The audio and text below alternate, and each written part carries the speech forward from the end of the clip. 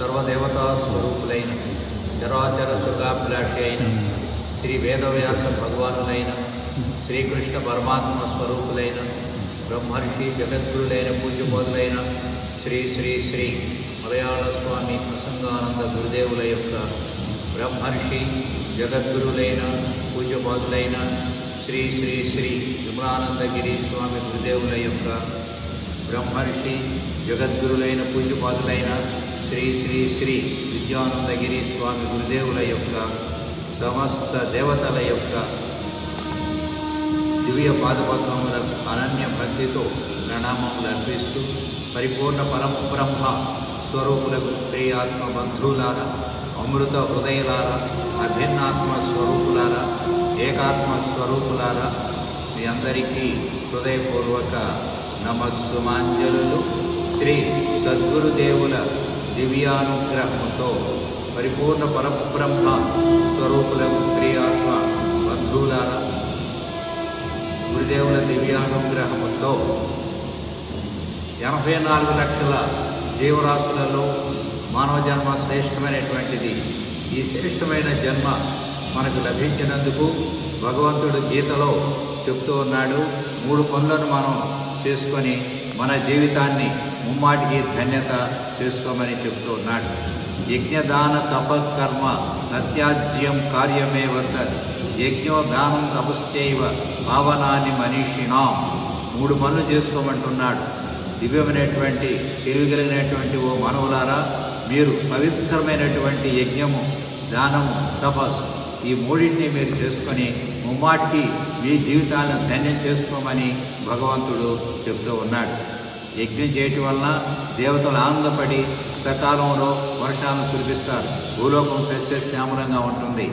యజ్ఞాత్ భవతి పర్జన్య యజ్ఞం వల్ల వర్షాలు వస్తాయి.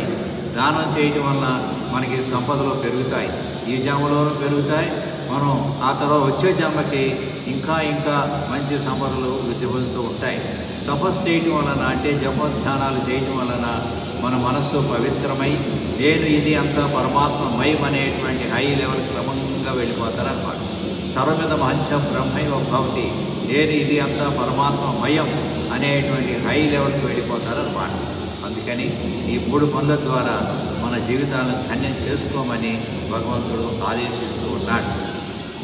అందుకని మన మురుకుంట్ల రాజేశ్వర శర్మ గారు ఈ నెల ఇరవై ఎనిమిది ఇరవై తొమ్మిది ముప్పై తేదీలలో చక్కగా పద్దెనిమిది వందల డెబ్భై రెండవ శ్రీ సర్వ సౌభాగ్య దేవీతయ గీతా జ్ఞాన యజ్ఞాన్ని భక్తుల యొక్క సహకారంతో చక్కగా జరిపిస్తూ ఉన్నారు.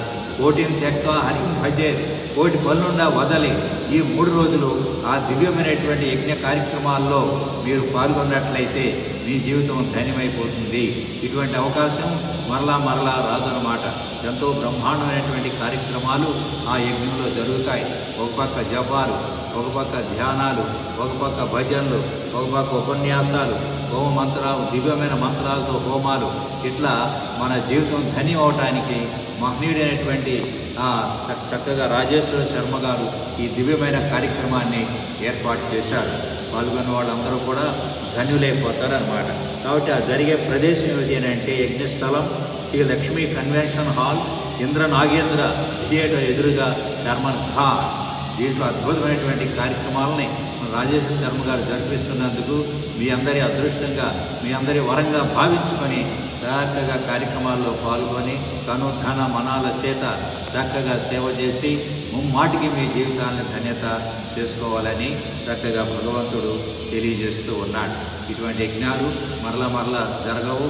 అందుకని బంధుమిత్ర సభ్యుల సమేతంగా ఆ యజ్ఞ కార్యక్రమాల్లో పాల్గొని మీ జీవితాలను ధన్యాతి ధన్యం చేసుకుందురుగాక అక్కడే చక్కగా ఉపన్యాస కార్యక్రమాలు ఉంటాయి అలాగే వెళ్ళిన వాళ్ళకి భోజన సౌకర్యాలు ఉంటాయి ఇటువంటి యజ్ఞాన్ని అందరూ నిర్వహించలేరు. కాబట్టి ఇటువంటి పవిత్రమైనటువంటి యజ్ఞం మీ హైదరాబాద్ మన హైదరాబాద్లో జరగడం అనేది అందరి యొక్క అదృష్టంగా భావించుకొని దాన్ని సద్వినియోగం చేసుకుందరు ఓ దట్ సత్ ఓ.